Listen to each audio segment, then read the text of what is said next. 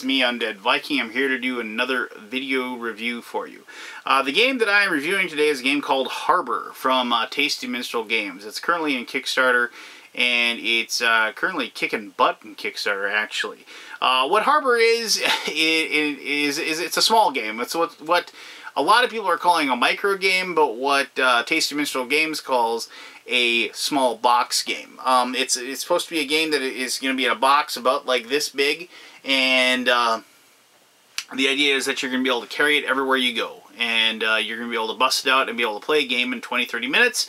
Uh, and then, but but still, even though it's a smaller game, still pack the punch uh, that people are looking for with uh, their their their strategic, their their kind of heavier uh, Euro type games. This is a game of uh, of, of resource management and uh, card play, variable player powers, a lot of the stuff that you've probably uh, already seen in many, many, many uh, other games. But it has a cute little fantasy theme because the idea is it's called Harbor is because each person is uh, is in charge of like a warehouse or a warehouse shipping uh, company in this like uh, whimsical little fantasy town, and um, and the the whole goal is is that you're trying to you're trying to build up your business. And you build up your business by buying and using uh, different buildings uh, that are in this town. So I'm going to show you some of the art and stuff. You're going to see that. Of course this is a prototype that I got. This isn't a complete and finished version. Um, but if you do go to the website obviously you're going to be able to see a lot of the really awesome things that they're they're doing with the game and how they're uh, they're, they're how it's going to look uh, once the game is published. But Anyway, uh, let me show you how to play Harbor. It shouldn't take very long. It's a pretty easy game to learn. And then we'll go ahead and come back here and I'll tell you exactly what I think. Alright, cool. Uh, Harbor, here we go. Alright, this is the game of Harbor. Um, this is, obviously, since it's a small box game, there isn't a lot to it. Uh, these are the different character sheets. I'll show those to you in here in just a little bit. Uh, the very small smattering of wooden components that you'll be using this small deck of cards, and this is the market card. Uh, to begin the game, uh, you randomly, uh, there's four different types of resources in the game. Uh, stone, wood, fish, and livestock.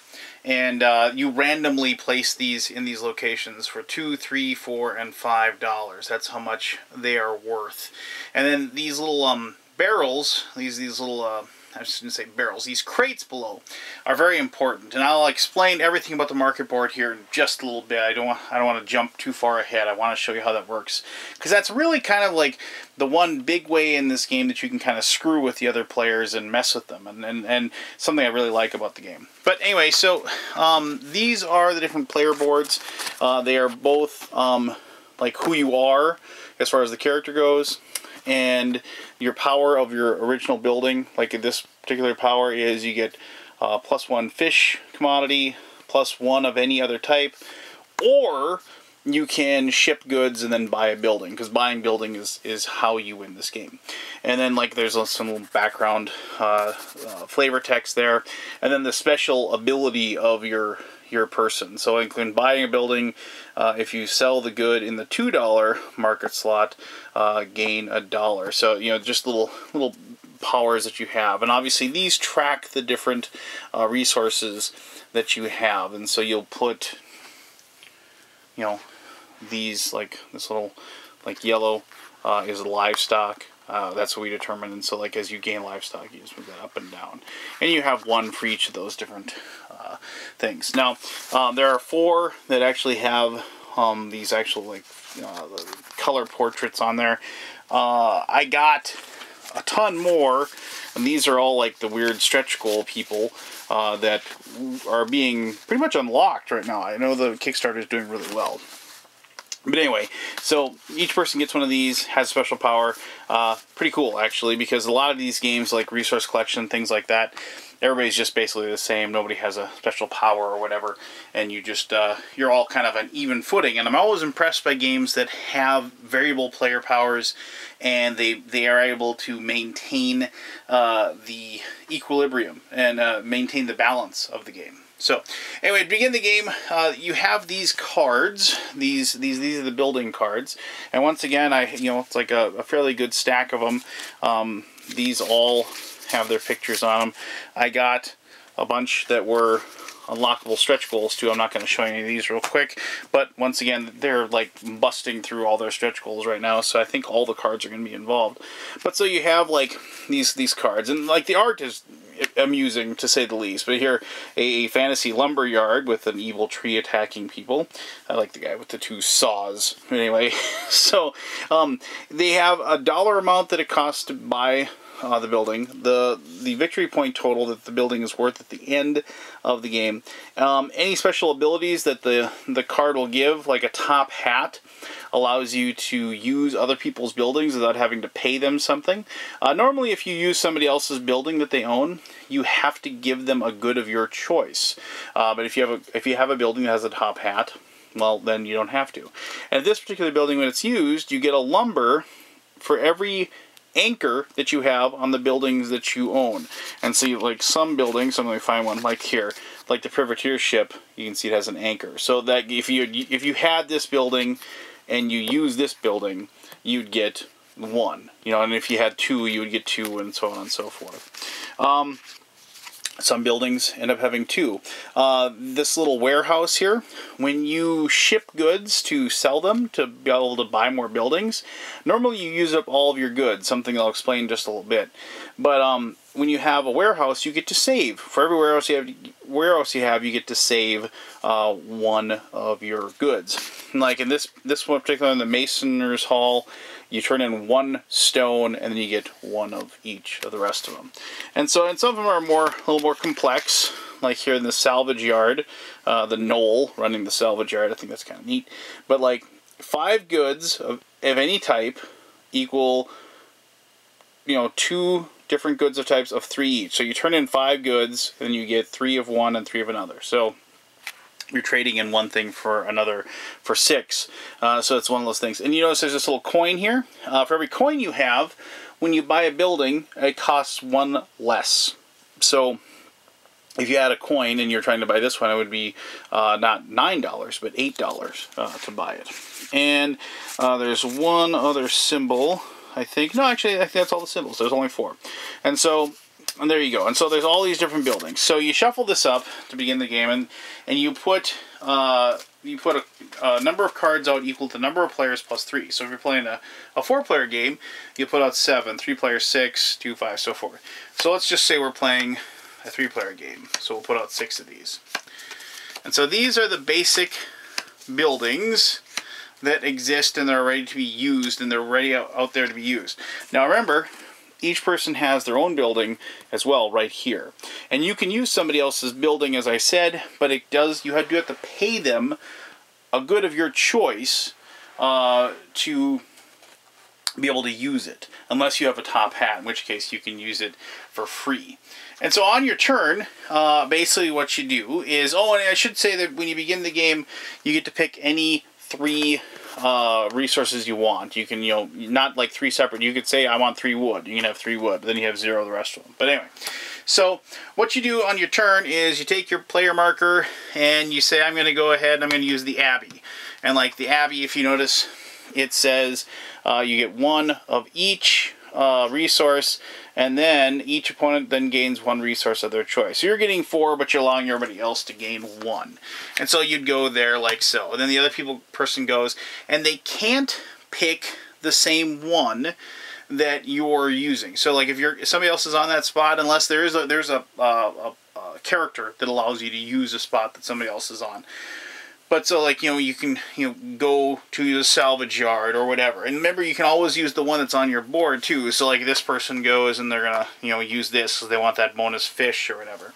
And so you go ahead and you use different parts and use different cards for their abilities and their powers. And eventually what you're going to do is what's what's going to happen is you're going to have more of these resources. And you're going to look up here at this market card and you can see there's the different things there. I'm going to move these off here so I can show you this. Um, what you have, the only time you ever make money is, is when you ship goods. And you need one of the things about this game that you have to wrap your mind around is is that you never really get to save money. You know, whatever you spend, you just have to use up that turn, and anything that's in excess, you just lose. It's like to taxes or like bribes or whatever. And the same thing goes for resources. So if you have like two uh, resources of, say, this was fish, this was the purple one. Um, if you have two of those, you can turn two of them in for two bucks. If you have four of them, you don't get to get turn in four for four dollars. You know, you turn in two for two dollars, but you actually use up all of them to do, to do it. And the same thing goes for all of these. The the markers only go up to six. You can't ever have more uh, than six on there. Um, basically because, well, it wouldn't do you any good to have any more than six. And it kind of stinks because of the fact that once you, like, if you have six of whatever's worth five, you still spend all six to get um, the five dollars for turning that in. So it's some that's one of the things about the market that um, is is really tough to, to keep track of, but and and also be cognizant of to understand exactly what your uh, stuff is worth and what you know what uh, you can actually buy. So what happens is so like if you have four of this one's four dollars and you have three of this that's worth three dollars and two of this is worth two dollars. What you'll do is you'll you'll you'll trade them all in. So let's just go ahead and put these back on like so and and so that, that's how they are. So I'm going. See what you do when you when you sell is, I'm selling my stone, I'm selling my livestock, and I'm selling my uh, my my fish. So that's four dollars plus three dollars plus two dollars. So that's nine total dollars. Now what you do is you look out here and you try to find the thing that you want to buy. So for nine dollars, you can't buy any of these three. But you could buy the privateer ship, the salvage yard, or the blacksmith. Now, the blacksmith is worth six bucks if you wanted to buy that and put that in front of you. Um, and, you know, but if you did, you'd be wasting three dollars, which, you know, would make sure, like, why would you even use that one? You know, because of the fact that you'd be, you know, using it for nothing, basically. Um, but what what like maybe like you wanted to get the salvage yard so you go ahead and you you buy the salvage yard and then it costs nine dollars. You know, nine dollars there. It's going to be worth eight victory points at the end of the game. If somebody decides to use it, they have to give you uh, a, good to use it. And this is a pretty good card, actually. If you have, you know, any five goods can turn it into six. It's a pretty good card. So you place that in your in front of you, along with, like, alongside your guy like that. And so now you have that in front of you, and you can use it. Now, the interesting thing that happens with the market is this is going to change. Now, the top one did not get spent, so that one doesn't matter. So what happens is, is you're going to start shuffling these um, into their new places. And so in this case, what happens is, is they will go that what'll happen is, is this one will move to four, this one will move to three, and the top one moves back to two dollars. Now, what stinks about that is that like if somebody's been collecting stone and they they're sitting on like four stone, they're like, oh okay, I'm gonna next turn I'm gonna turn in my stone for four bucks, and all of a sudden, bam, somebody uses it, it moves down to two dollars, and they're like, well, stink, you know, or probably not stink, something a little more uh, flavorful. But they're, you know, they're upset because now all of a sudden their four stone is only. They thought there was going to be worth four, but now it's worth two. Now some cards actually like the Privateer ship here, actually have the ability to mess with the market. So if you go to this spot, you, you can shift one marker to the highest value and bump everything down accordingly. And then also then you get to take one good of any type, becomes two of another type. Pretty good card, actually. Pretty good building, if you will. So, like if somebody had used that, like maybe the next person who was sitting on the, that stone uses that spot, goes there, they immediately get to move that back up and they can shove everything back like that. So there you go. So play continues until one person finally builds four buildings apart from the one that they got at the beginning. And then each person takes one more turn. And then you told the victory points that you got from all your buildings, and whoever has uh, the most points wins.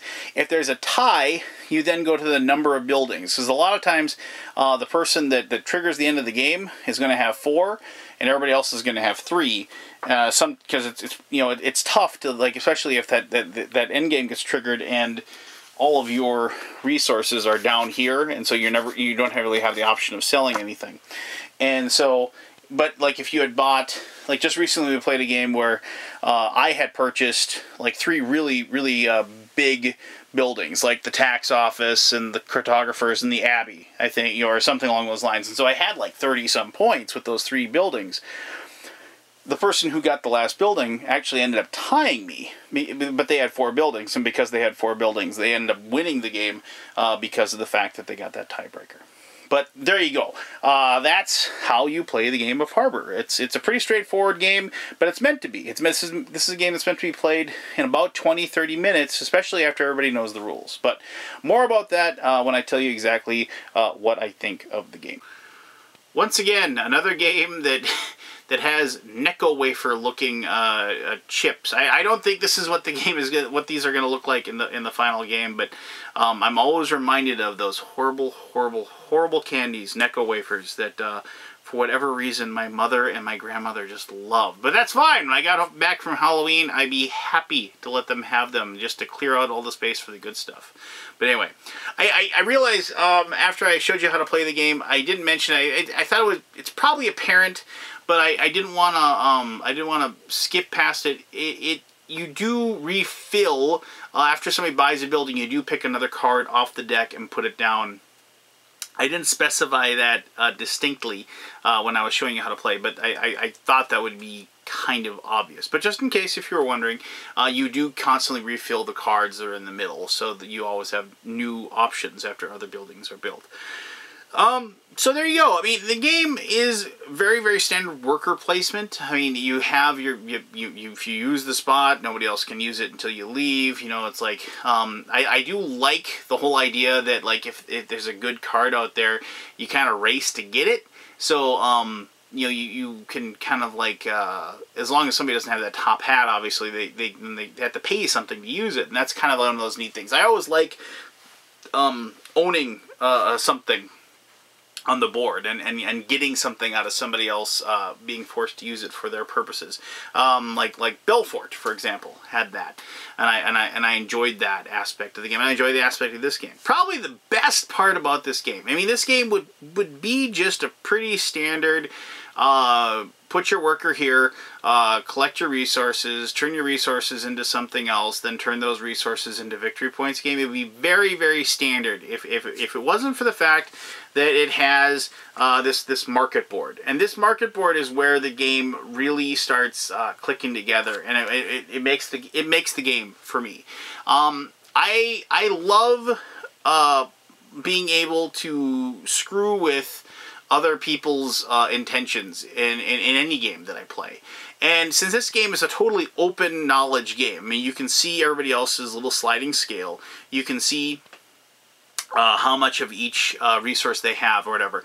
It, it always, um, I, I always purposely try to uh, get one step ahead of somebody else and alter the market, it, it, either by purchasing something or by being lucky enough to have a card like the Privateer ship um, that allows you to mess with it.